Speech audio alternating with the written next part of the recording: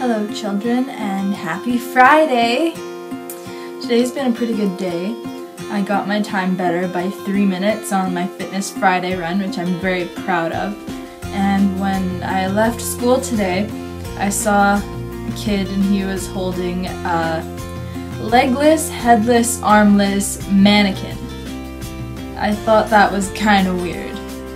Today was also pajama day, which was like the fabulousest day ever. So I have my hoodie, got my furry t-shirt, and I got my fabulous pajama pants. Like, see, look at these. These are like perfect. I'm so happy with these. But anyways, let's get back on task. Today's video I'm doing for you guys is A to Z of me. So I'm looking forward to this. I wrote down a whole 26 things, probably more because some of them were hard to choose just one. So yeah, without further ado, let's start this thing. A is for adventure time. B is for brick, which is my iPod mini. C is for one of my best friends, Caitlin. Shout out to her. D is for the dark, which is my favorite thing ever. E is for my other best friend Emily, shout out to her who comments on all my videos. And E is also for my name. F is for Finn, my guitar.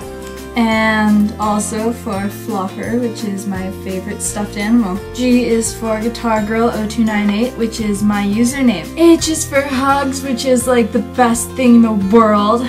I is for Iris by the Goo Goo Dolls, and that is my favorite song in existence. J is for Joyful, which is another word for happy, which is usually 99% of the time my emotion.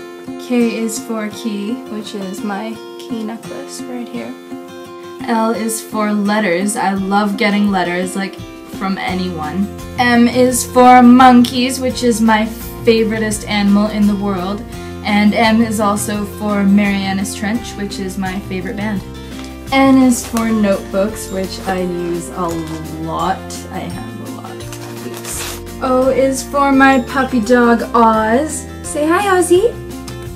Good. P is for pictures. Q is for quotes. R is for the rain. I love the rain a lot.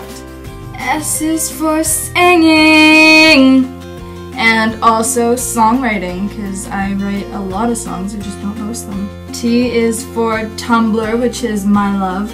U is for uh, I couldn't think of anything. V is for Value Village, which is my favorite store. W is for, well, that's a thing, which is something I say a lot. X is for x-rays, which I've had to have at least three because I am clumsy and injure myself a lot. Oops. Y is for YouTube. And Z is for Z